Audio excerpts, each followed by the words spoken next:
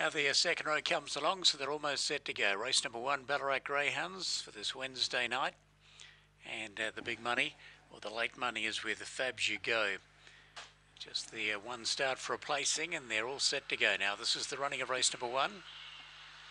They're set, ready. Racing now and away quickly. Ruby, Arizona, the newcomers straight to the front over Volcanic Lava. Fab you go now going up there and Tinker Craig slicing between them as well.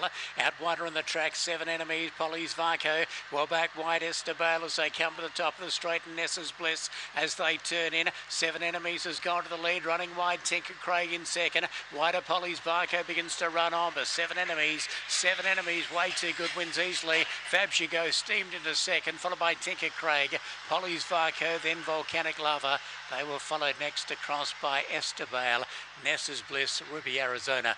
Beat uh, one or two to the uh, wire, but a big win by seven enemies in 25.74.